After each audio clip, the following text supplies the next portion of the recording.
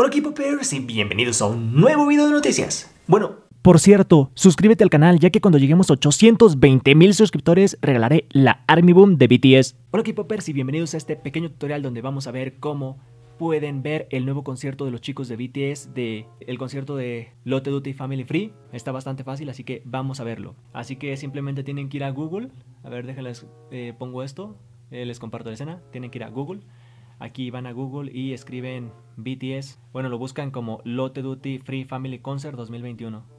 Y les aparecerán varias cosas. Y básicamente es, a ver, este. Le dan clic aquí en este. Y los redirige a esta página. Aquí en esta página van a bajar hasta acá. Tienen que bajar, bajar, bajar, bajar. Eh, tarda un rato en cargar esto. Hasta donde está el botoncito. Este botoncito Apply for Concert Admission. Le das clic aquí. Te va a redirigir a otra página donde básicamente aquí tienes que crear una cuenta.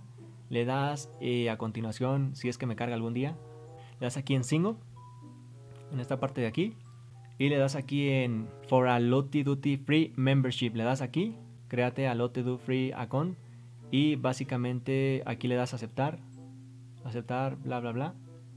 Aceptas todos los términos y te vas hasta abajo. Y aquí simplemente le tienes que verificar, tienes que verificarlo con tu email pones aquí tu correo electrónico, por ejemplo, coremas.hotmail.com, entry manual, le puedes poner aquí Gmail, Hotmail o lo que sea, y ya le das Next. Bueno, creo que le tienes que poner, mandar el código, ¿no?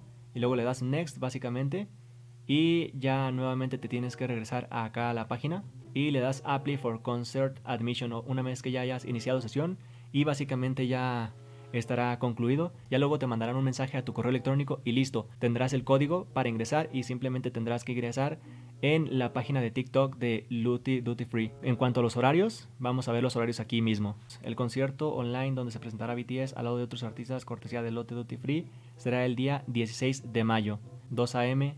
en Costa Rica, en Guatemala, en El Salvador, en Nicaragua, en Honduras, a las 3 a.m. en México, en Perú, en Colombia, en Ecuador y en Panamá a las 4 am, en República Dominicana, en Bolivia, en Paraguay, en Chile, en Cuba, en Puerto Rico y en Venezuela a las 5 am en Argentina, en Uruguay y en Brasil y a las 10 am en España básicamente. Y la fecha del registro es del 20 de abril al 15 de mayo, así que tienen desde el 20 de abril hasta el 15 de mayo. Importante.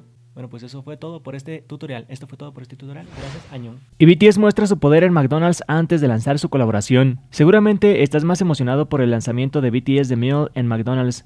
Y no es para menos, pues los chicos eligieron el menú de nuggets, de pollo, papas fritas, salsas especiales y un vaso de refresco. Aunque aún falta tiempo para que llegue el combo a Estados Unidos, México y más de 50 países del mundo, el anuncio tuvo un gran impacto en los restaurantes de comida rápida y los empleados han recibido una guía especial que los preparará para aprender del incremento de órdenes de un delicioso postre. A través de las redes sociales, uno de los trabajadores de McDonald's compartió un comunicado que la empresa les hizo llegar, en donde especifican que si bien faltan días para el estreno de The BTS Meal, se registrará un aumento en las ventas de Oreo McFlurries. McDonald's les explicó a sus trabajadores que todo esto se debía a la gran popularidad de BTS entre el público de todas las edades y de distintas regiones del globo, así que se prepararon para tener más flujo de clientes. El éxito del helado de Oreo McFlurries de McDonald's se debe en gran medida a que es un postre delicioso con chocolate y galleta, pero subió el interés de los consumidores después de que en un capítulo de la temporada 4 de One Voyage, Vi acudió a una de las tiendas de los restaurantes y ordenó uno. Tras las publicaciones del episodio, las ventas de Oreo McFlurries se popularizaron en los países asiáticos y latinoamericanos. Army esperaba que estuviera incluido en de BTS Meal.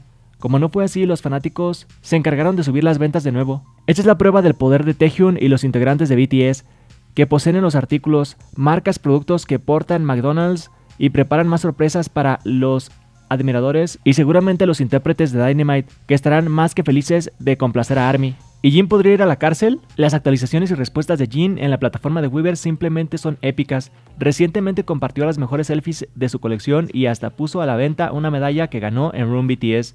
El carisma del artista surcoreano es innegable y ARMY siempre está al pendiente de las nuevas publicaciones, opiniones del post de los usuarios de la app y no se pierde ninguna de sus fotografías.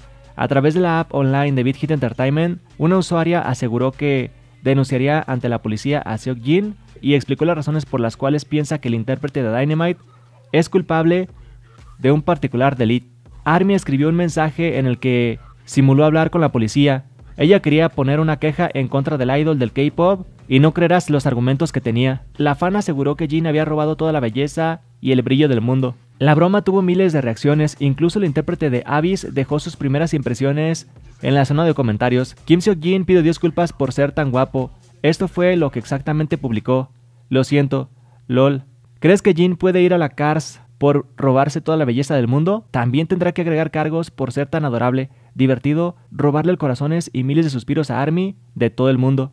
En otras redes sociales como Twitter, Army reaccionó con memes y otras ediciones de Jin, siendo arrastrado al puro estilo de programas de televisión policiales y de detectives. Otros resaltaron el buen sentido del humor del vocalista de BTS y agradecieron siempre que le da importancia a los posts de los fans.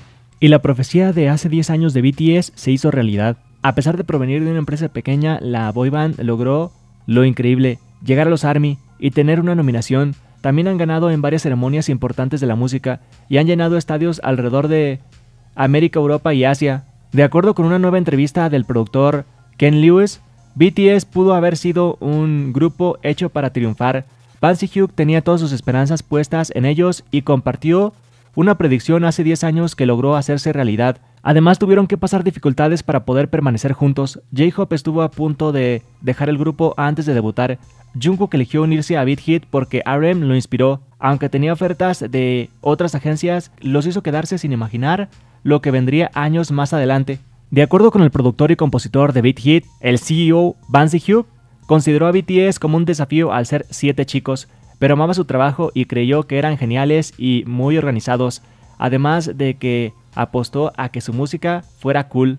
La anécdota que compartió suena más que una profecía que se hizo realidad. BTS va a ser el artista más grande del mundo. Estas palabras también se las dijo a los chicos durante su etapa de predebut, pero creyeron que solo era una forma de animarlos. La fe de Vance Hugh por los idols fue un voto de confianza para que lograran triunfar. Además de su gran talento, él siempre los apoya y creyó en ellos incluso cuando su empresa estaba en riesgo de bancarrota. Hoy en día gozan de ser los artistas coreanos más ricos de su país, estadios sold out, cientos de premios, récords y tienen una alianza que los conecta con Ariana Grande y Justin Bieber, entre otros artistas. También han sido elogiados por grandes personalidades como Chris Martin de Coldplay y Paulo Coelho. Bueno, esto fue todo por este video, espero que les haya gustado. Recuerda suscribirte como siempre para más videos como este. Dale like si llegamos a 500 likes publicaré otro video como este. Sígueme en mis redes sociales, para más contenidos, comparte este video con tus amigos y comenta cuál es el país que ama más a BTS.